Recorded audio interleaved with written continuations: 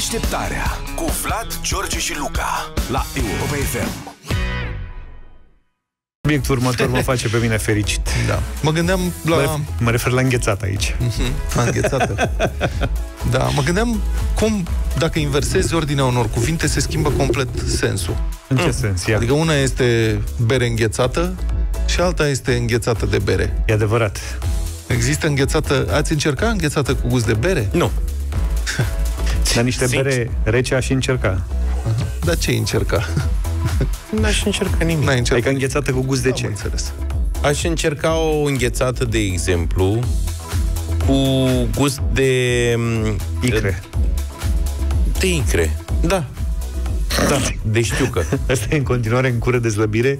Când vine vorba de mâncare, ar încerca orice. Nu, dar acum că mi-ai dat tema asta, a început să Da. mm, Da. meargă metrou prin Dar cap. înghețată cu De gust de, crab? saramură, de crab ai înghețat? Da. De crab sau de știucă? Nu, doar icre. Nu mai icre de cred, știucă. Nu mai De cred decât Da, dar mai- de alea făcute salată, nu... cu ceapă. Da. Nu. În înghețată, nu. Păi icrele fără ceapă. Așa, Păi nu merg dar în înghețată. Nu în înghețată. Nu merg în înghețată. Da. Există, da, înghețată de pălincă? Da. De Dar nu pălincă de bere, prune că sau- de bere amară, adică nu-i văhazul. Nu se Există lipește. și, există și beri mai dulci. Există, da. deci astea, înghețata cu gust de bere, de pălincă, de vin și altele se fac la Brașov. Este un Serios? producător local din Brașov, scrie G4 Media, care a venit la expoziția Gastropan de la Brașov, pe care noi am ratat-o, Încă o expoziție ratată. cu o serie nouă de sortimente de înghețată, numeroase bazate pe băuturi alcoolice, relatează Brașov.net, deci în sfârșit înghețată și pentru bărbații deprimați, nu doar cum e înghețată de vanilie. Mi-a spus un domn, zice producătorul, mi-a spus un domn că el renunță la o bere pentru înghețat, deci i-a făcut un reproș. Când omul respectiv, clientul se plimba, asta parcă nu fi îmbiat, nu vrei o înghețată. Eu? Păi de eu renunț la bere pentru înghețată? Păi ce, hai că facem așa. Și s-a gândit, de ce să nu facă o combinație? Și uite, acum primești gustul berii favorite sub formă de înghețată. În anii precedenți, zice dânsul, am făcut din pălincă de prune. Bun. Am făcut din vin de tocai. Bun. Vinul de tocai e de obicei un... Mai dulce, nu? Mai dulce. E dulce și se potrivește. Dar și din vin sec merge înghețată. Am și mâncat odată. Vin?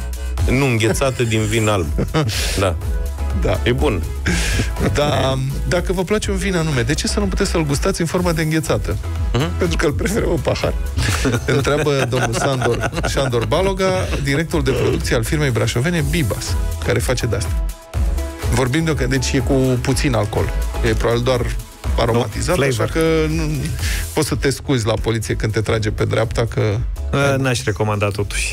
și mai are ceva, zice, mai avem ceva. Între noutățile anului 2023 găsim chefir cu semințe de dovleac. De casă? Aici ai venit la casă, da, da, pe strada mea, da, chefir, Chefir de, de casă. casă. Băi, ce mai face Florin, colegul nostru de am dat eu chefirul săptămâna trecută, poate l-am mâncat ciuperca, că nu l-am mai văzut pe Florin. Ultima dată când m-am văzut cu el, era super încântat. Păi de asta zic. Sigur, el nu mănâncă chefir. Cred că face cadă în chefir acum.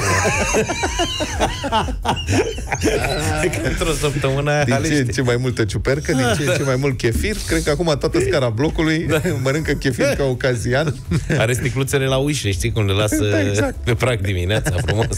Da, un mic business cu chefir și ciupercuța de chefir. Da. Deșteptarea cu Vlad, George și Luca la Europa FM.